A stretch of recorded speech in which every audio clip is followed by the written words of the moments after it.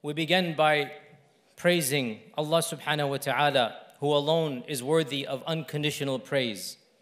And we ask Allah subhanahu wa ta'ala to send salat and salam upon the one who was sent as rahmatan lil alameen, the one who is the most blessed and the most perfect worshipper of Allah subhanahu wa ta'ala, the one whom Allah subhanahu wa ta'ala chose to seal the prophecy with the one who was the final recipient of the message from Jibreel alayhi salam, the one who was sent as Sayyidu Waladi Adam, the leader of all of the children of Adam, the one who will be under whose banner all of mankind is standing on the day of judgment, and that is our Prophet Muhammad sallallahu alayhi wasallam.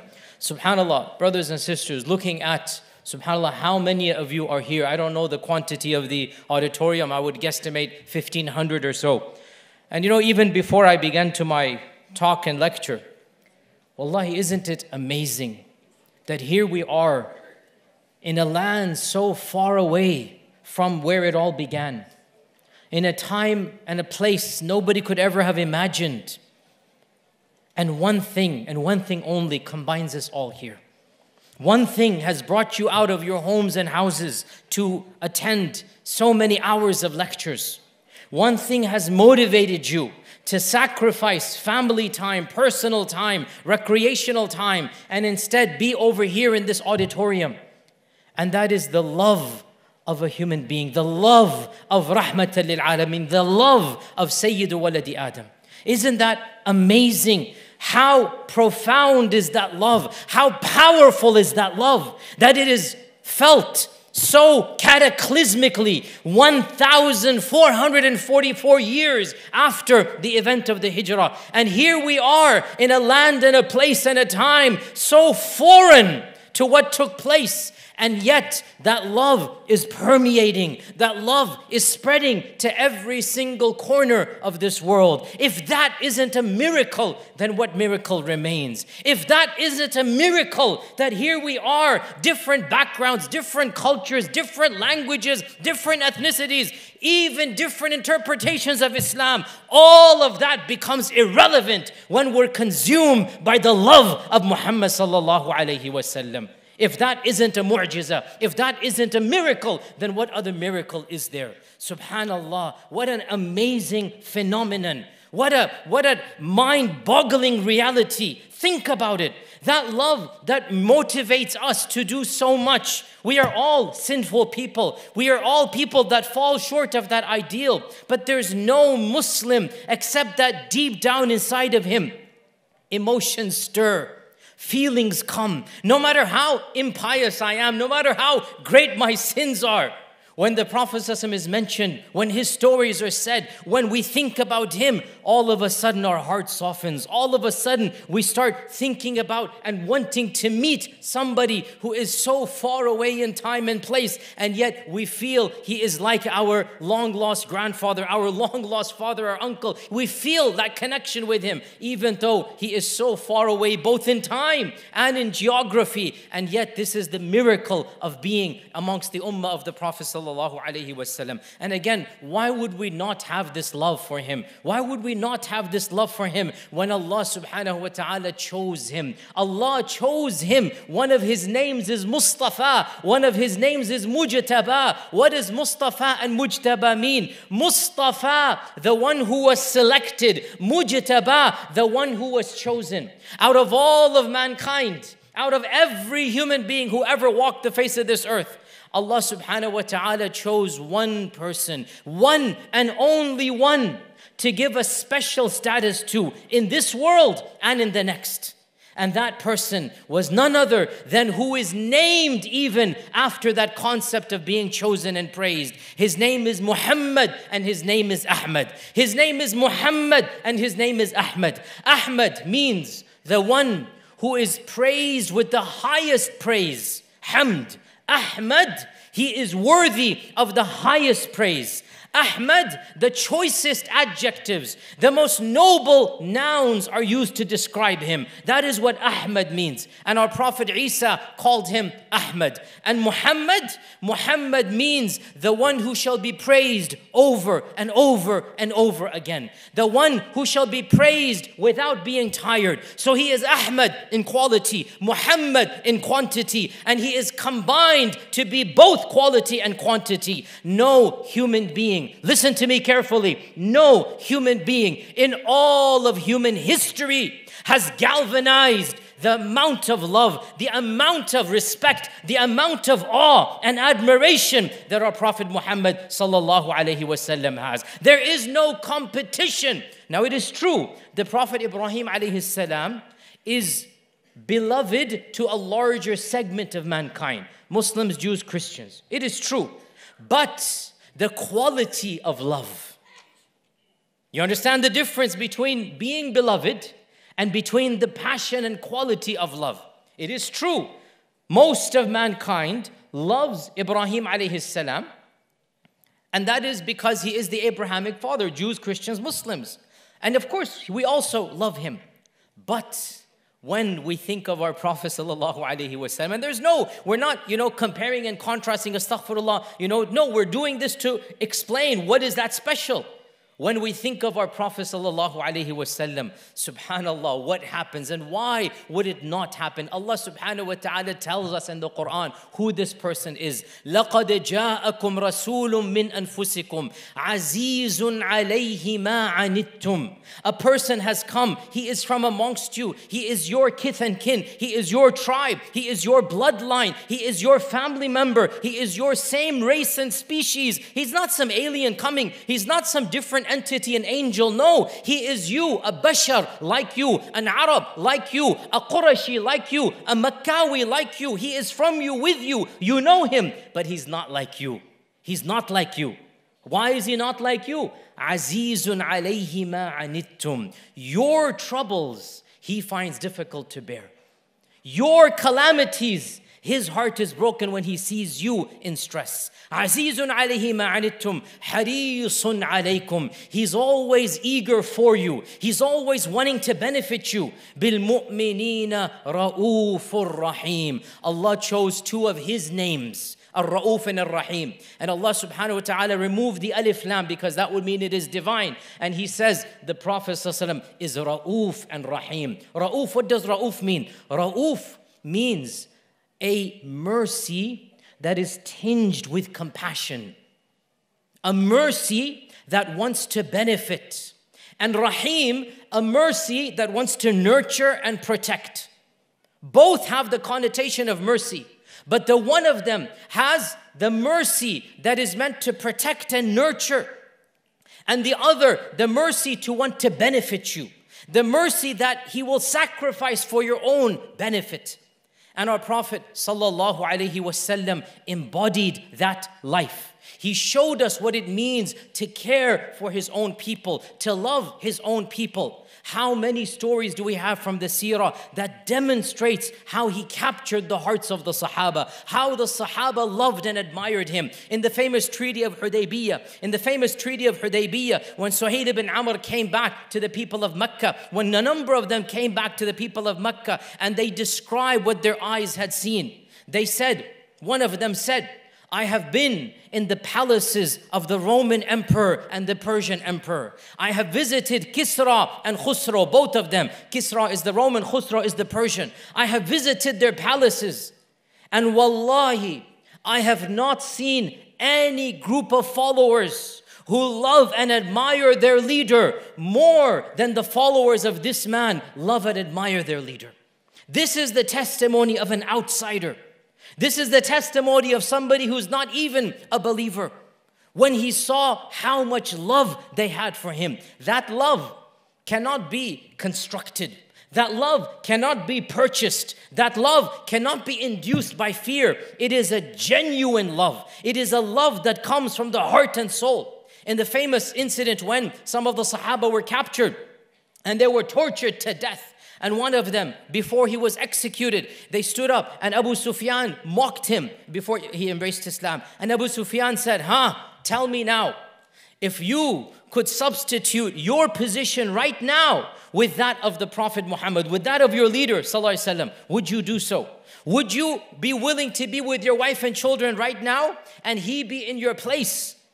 And he smiled back and he said, I swear by Allah that a thorn prick him is more painful to me than my life be given for his cause.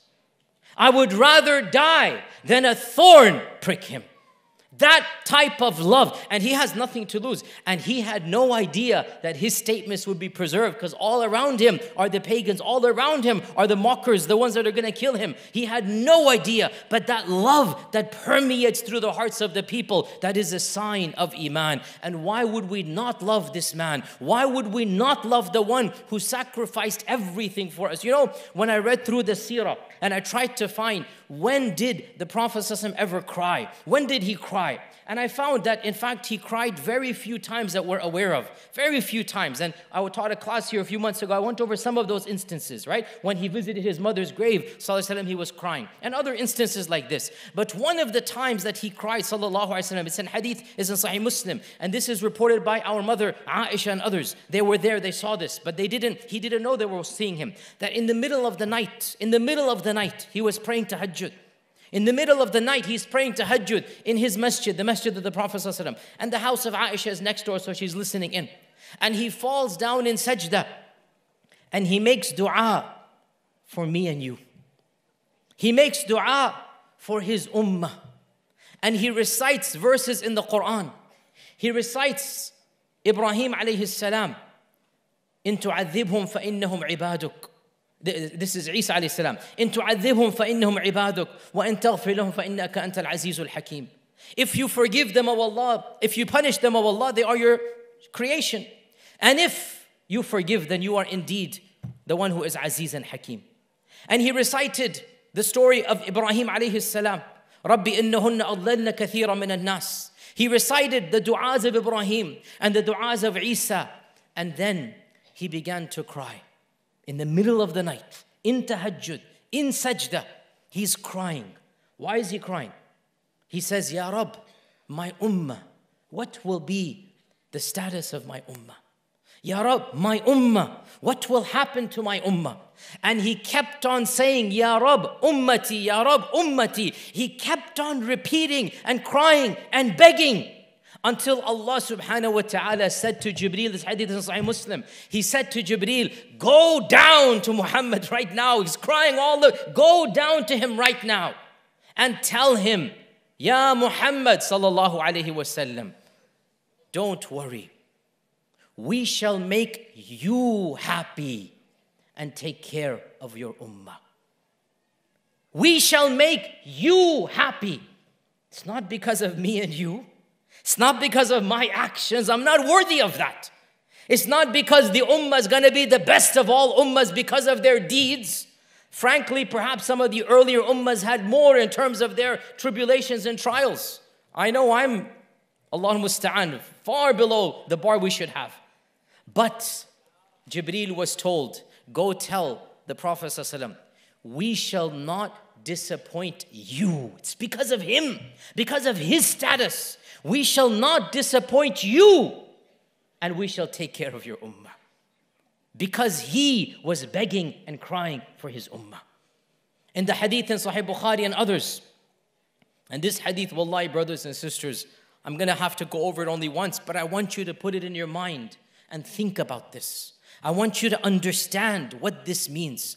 In that beautiful hadith, our Prophet said, Every single prophet, there are certain perks that happen when you're a prophet, right? Certain perks that happen.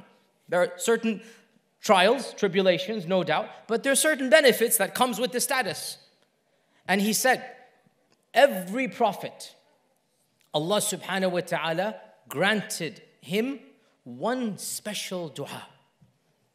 Every prophet was told, you have one dua, you will get it. And the Prophet ﷺ said, and every prophet used that dua in this life. Every prophet, they had one specific dua that whatever they wanted, they could get it. And every single prophet used that dua for something that they wanted of this world. Sometimes it was a request that it comes out of a frustration for mankind. Nuh alayhi salam, after preaching for 950 years and being mocked and ridiculed for generations on end. His dua was, Ya Rab, destroy them all, don't leave one. Al kafirina. I don't want one household left of this group. He has the right after all that they've done to him. And so Allah answered that dua. And Allah subhanahu wa ta'ala sent down a rain and caused a flood to come out, the likes of which has never happened in human history. And all civilizations around the world have a vague memory of what is now called in the academy the flood myth. They call it a flood myth right? They call it a flood myth because they don't know how to explain it.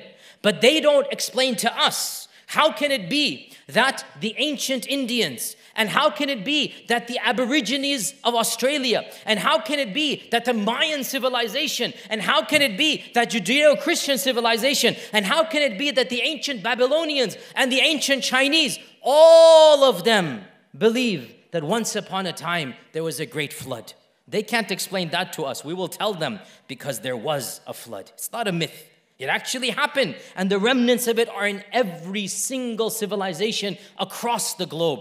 Even, and I'm not making this up, you can look it up, even in the Aborigines of Australia who have been cut off from mankind for 50,000 years, they have this flood myth. How did they get it?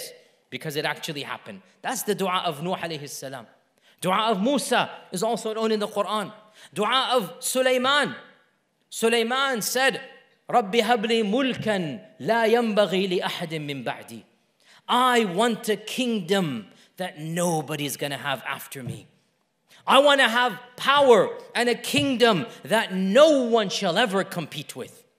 So Allah answered that dua. فسخرنا له الريح تجري بأمري رؤخان حيث أصاب. We gave him the power of the wind. You know the, the legend of the flying carpet? It's not a legend. That is Sulaiman. Sulaiman alayhi would sit on a carpet and that carpet would go. That's where that legend comes from.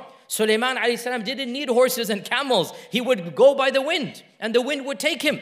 And Allah Azza wa Jalla said, He could speak to the birds, speak to the animals. He had the army of the jinn at his command. He could build structures that people couldn't even understand and imagine. Why? Because he had one dua and he took advantage of that dua. It's a halal gift. Every prophet has it. So we see the power of du'as that are answered, right? Now, back to the hadith. The Prophet told us every prophet has one dua that guaranteed to answer. And every prophet, without exception, used that dua in this world for something they wanted. Okay, Ya Rasulullah, what did you use it for? He said, and as for me, اختبأتها. I have kept it. I didn't use it. I have kept it. And I'm not going to use it in this dunya. And I will use it on the day of judgment so that Allah subhanahu wa ta'ala forgives all of my ummah. The dua of the Prophet sallallahu alaihi wasallam was not for his personal use. Even though, can you imagine now, knowing this, go through every instance of the seerah and ask yourself, imagine he had that trump card. He had that reality. He had that one dua that he could have taken advantage of at any point in the seerah. Surrounded at Uhud, seeing his uncle decimated at Uhud. The reality of what happened in the Battle of Khandaq for one month in the city of Ta'if, humiliated, alone. He could have used that dua But he sacrificed at every stage of his life. At every opportunity that he could have done something to benefit himself, he kept it. For what? اختبأتها لأمتي يوم القيامة. I'm going to use it for my ummah on the day of judgment. How can we not love him when he sacrificed everything for us? How can we not have that sense of ultimate mahabbah? When he gave up everything so that that one dua can be used for me and you on the day of judgment. And subhanAllah, brothers and sisters, wallahi, that love that the ummah has, it is a sign of his truth and honesty. This love cannot be manufactured or created. It's not mass brainwashing. In the end of the day, every civilization considers some people to be holy and sacred. But no civilization has the type of love that we do for our Prophet. Do you understand what I'm saying here? Every civilization, every community has certain figures it considers to be absolute role models, embodiments of perfection and virtue. But no civilization has a love for their leader the way the ummah has a love for the Prophet. You know, one of my most moving stories of the seerah. And I'm asked this a lot which story do you like the most? There is no one story, you love the whole seerah. But one story that really it shows us how profound and deep that love is is the story of Abu Bakr as-Siddiq radiallahu ta'ala an, on the day of the conquest of Mecca. The story of Abu Bakr as-Siddiq radiallahu an, and his father Ibn Abi Quhafa. Ibn Abi Quhafa, he was somebody who opposed Islam throughout his whole life. And if you remember the story of the Hijrah, he was the one who slapped Asma bint Abi Bakr when he found out that there was a ruse, there was a trick to take and smuggle the Prophet out, he became angry at his own family. He became angry at his own son, but his son wasn't there. He took it out on Asma, the granddaughter, Asma bint Abi Bakr. And he got angry at her. Why did you do this and whatnot? That man, Ibn Abi Quhafa, when Mecca was conquered, and he was now 90 years old, half blind, complete, immobile. He couldn't walk. Everybody has to embrace Islam at this stage. Ibn Abi Quhafa was brought in a blanket. You know, they didn't have wheelchairs. Pick him up in a blanket and a quilt, and they walked him, or they carried him, sorry, to the Prophet wasallam. And now he's going to accept Islam. There's nobody in Mecca left of his era. Everybody gone. He's the oldest person alive in Mecca. His entire batch is gone. And he is brought to the Prophet. The Prophet says to Abu Bakr, هلا تركت الشيخ في البيت نأتيه نبايعه Why didn't you leave the sheikh, meaning the old man, in, in the house? You could have left the elderly person home. I would have come to him. Out of honor for Abu Bakr, not out of honor for him. Honor for Abu Bakr. I would have come to him in his house. Abu Bakr said, No, Ya Rasulullah, it is more befitting he comes to you. And when Ibn Abi Quhafa put his hand out, you know, they would give an actual oath of allegiance, right? When you accepted Islam at the hands of the Prophet, how fortunate they were, you would actually put your hand in his hand, and there would be an actual oath of allegiance. When the hand of Ibn Abi Quhafa touched the hand of the Prophet, Abu Bakr began to cry. Abu Bakr began to cry. Listen to this. And if this is not love, if this is not mahabbah, then what is mahabbah? Because Ibn Abi Quhafa, by the way, was good friends with Abu Talib. That generation, right? They're gone now. They were close buddies back in the day.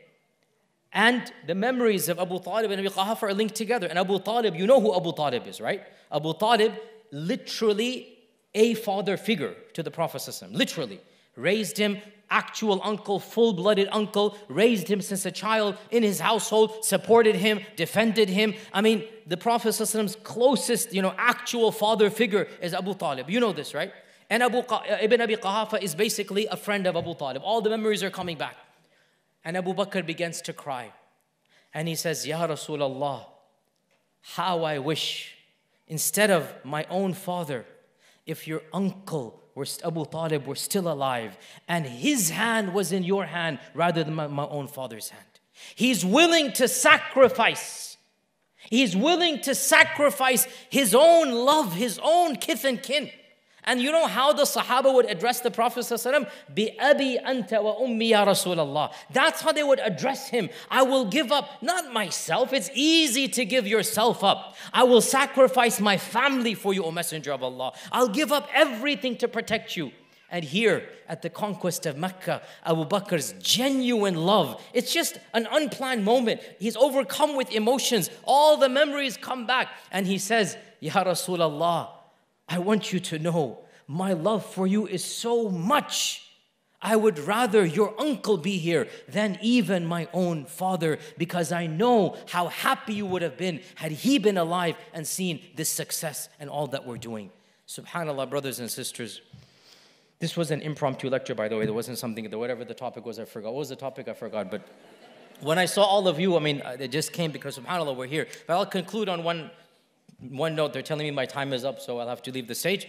I'll conclude by this one, uh, one um, hadith that is indeed a profound one. And it's one that, inshallah, gives us hope. It's one that gives us hope. Once, one of the Sahaba came to the Prophet and said, Ya Rasulullah, Ya Rasulullah, in this life, in Medina, right now, whenever we feel sad, whenever we feel depressed, down, we come to you and we see you and we feel comfort. We feel peace. Our anxieties go away. Pause here. Looking at the Prophet was therapy. Think about that. They were stressed out. They just stand in his presence and they feel relaxed. They were blessed. So he said, Ya Rasulullah, in this world, in this dunya, when we feel stressed, angry, anxious, anxiety, we come to you and your presence comforts us. But Ya Rasulullah, in Jannah, you will be up there and we will not have access to you. So I'm worried what will happen to us in Jannah. Now, before we go on, look at the Iman of the Sahaba. They're in Jannah, but they don't want Jannah without the Prophet. And they're getting panic attacks we never got that opportunity to interact with the Prophet. So we ask Allah, if Allah has deprived us of seeing Him in this world, that He not deprive us of seeing us in the Akhirah. We ask Allah that at least in Jannah we get the opportunity to see Him. So this Sahabi who is interacting with Him daily, right? I mean, he's interacting daily. says, Ya Rasulullah, what am I going to do in Jannah without you? Literally, that's exactly what he's asking. What am I going to do when I don't have access to you? And the Prophet ﷺ said, Anta ma'aman ahbabta.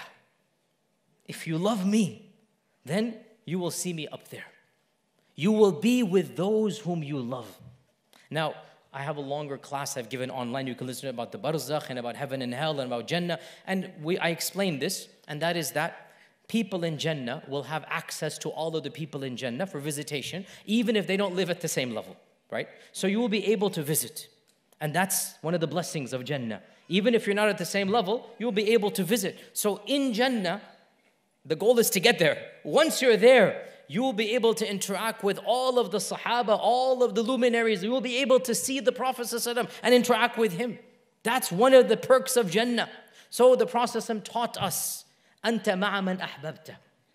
Anas ibn Malik said, when this news spread throughout Medina, in other words, this news became a cataclysmic item, news item, news flash. you don't have to be like Abu Bakr and Umar to be with the Prophet in Jannah. Because even amongst the Sahaba, there's hierarchy, right? Even amongst the Sahaba, you had the elite and you had the average, and they're like, and their average is way better than you know, ours, but they had amongst themselves. And Anas ibn Malik said, and listen to this, and with this I concluded. Fawallahi, we were never happier than the day we heard that we shall be with the Prophet even if our deeds don't match his deeds. It made them so happy that their hearts were jumping for joy. And he said, in the whole seerah, from the day the Prophet came to Medina, that was the happiest day, then the second happiest day. We were never happier than the day we found this fact out Their love was a continuous love. It wasn't a one off love. Their love was a love that they kept on thinking, what are we going to do when he goes in Jannah? How are we going to interact with him? Then they find the good news. Don't worry. You get up there and he'll be there as well. Brothers and sisters, our deeds are not anywhere close to that of the Sahaba.